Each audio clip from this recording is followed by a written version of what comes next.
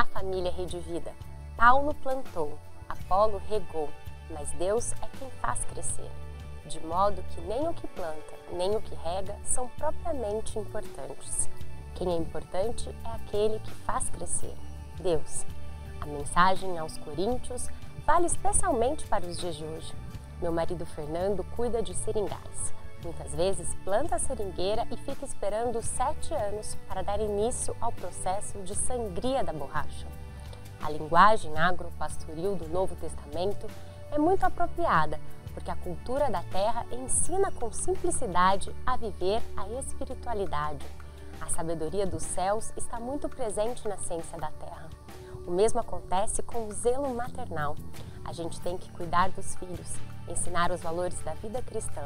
É preciso fazer valer o aprendizado permanente e sem fim sobre o amor misericordioso de Deus. A mãe planta, a família rega, mas Deus é quem faz crescer. Ano do Laicato, Sal da Terra, Luz do Mundo. Mariana Monteiro para a Rede Vida. Alegria é estar com você.